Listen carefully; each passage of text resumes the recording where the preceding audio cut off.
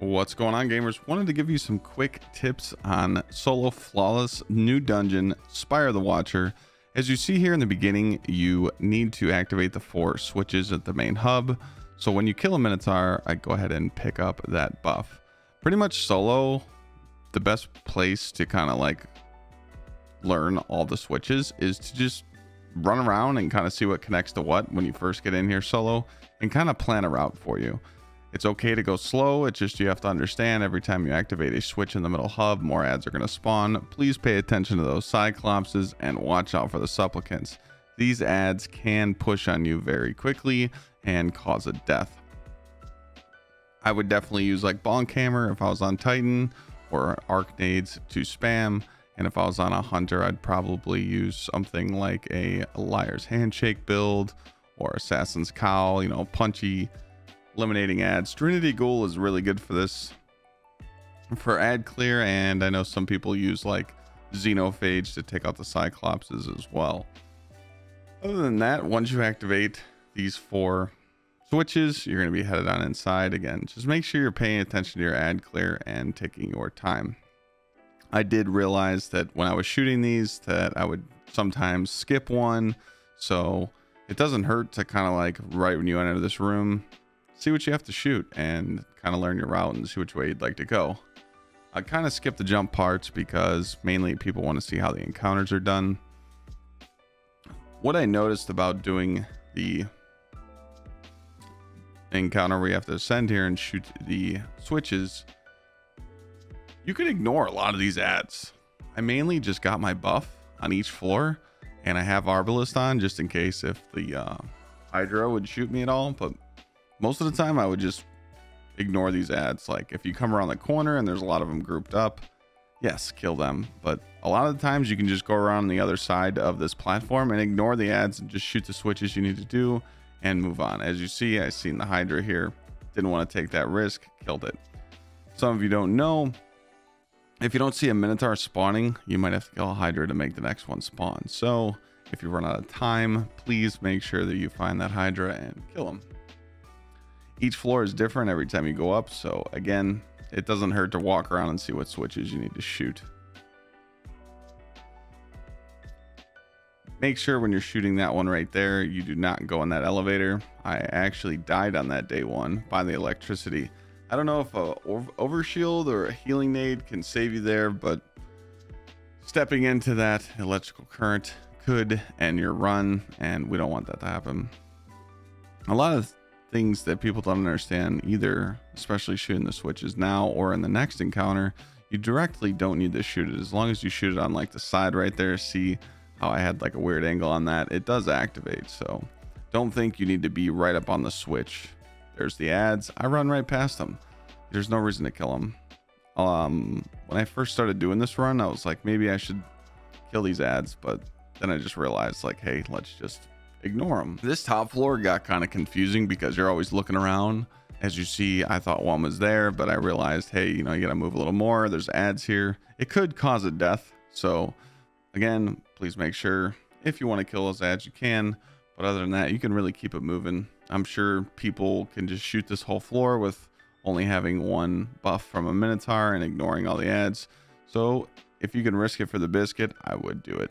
Just because, again, you're just trying to get a consistent run in and get to the Harpy boss as fast as you can and try and output high DPS. Speaking of Harpy boss, I chose high energy fire being on my Titan.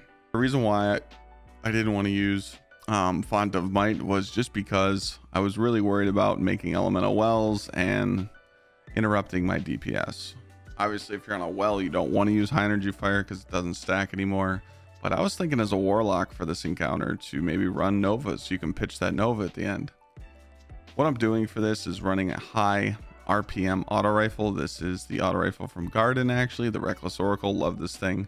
There's multiple weapons you can use. You can actually use a trace rifle, like a legendary trace rifle, but then you're putting double special on because you definitely want to run a grenade launcher for weaken clear debuff, get that 15%. Make sure you have on solo operative as well that gives you another 15% buff to everything that, you know, your nades, your abilities, your guns, your super.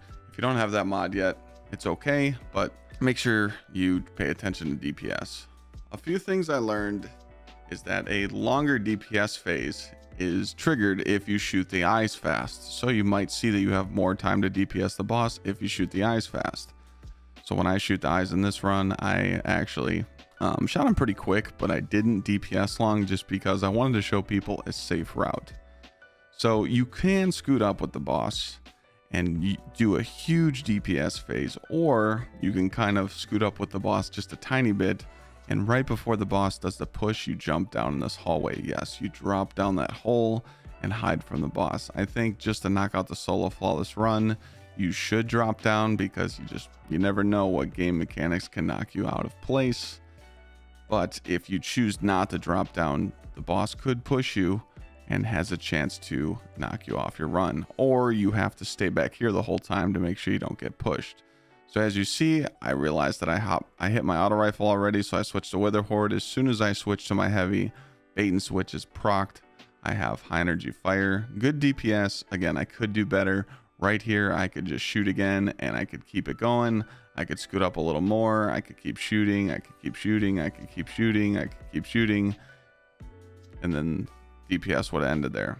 So again, I just wanted to play safe and I wanted to show you what to do there. Once you rinse and repeat, you're going to do it again. I did notice that running add clear weapons like Trinity Ghoul here could help you as well to take out those harpies. One thing I wanted to point out going into damage, the ads will despawn if they're near you. The harpies don't. The harpies will keep shooting you, but as you see there, those minotaurs kept shooting me as well. Wanted to show you what aspects I was running there for ashes and char Solace to provide tons of Scorch and stacks of Incandescent for ad clear. Going into damage for the final boss, I did use a Hothead rocket launcher. I've seen some pretty insane DPS phases with Warlocks using a Demolitionist rocket launcher. To my knowledge, the VoG grenade, the VoG rocket launcher can roll demolitionist and also the hothead if you have a demolitionist hothead with explosive light that is doing crazy dps right now with warlock fusion nades starfire you can spam nades spam rockets and Witherhoard that guy right there when you bonk him if you're using a bonk hammer or a melee build on a warlock or a hunter please make sure you jump i actually threw a bonk hammer at that minotaur and it ended my run when i'm in this room i realize that i can take my time what I try and do is, is I see what two nodes are connected shooting into the other room. So what I'm going to do here is activate both. So I know I'm out of this room. I don't have to pay attention to that room anymore.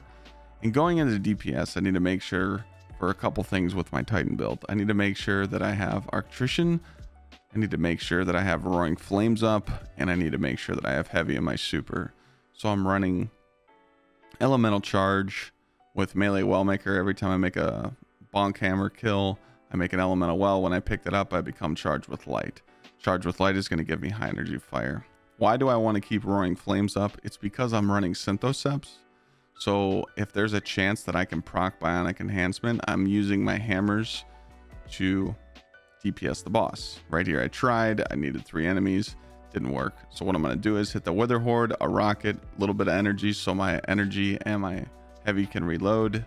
Once I do that twice, I spam hammers, counting on my hammers to do damage, the explosions to do damage. This could easily be a five phase, but I choked, so I had to do a sixth. What I'm going to do there is swap out again to a Witherhoard and Rocket.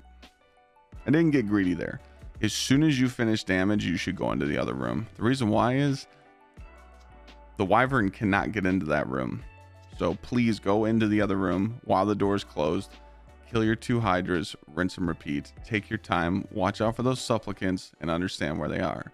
This is me going into my final damage phase, number six. Again, this will get cleaner, but again, please take your time in this room. This whole solo flawless dungeon is all about endurance, how long you can stay alive. Runs will get faster, but I hope me voicing over this run gave you some tips and tricks. And GG's out there. Go get the dub. I'll see you guys next time.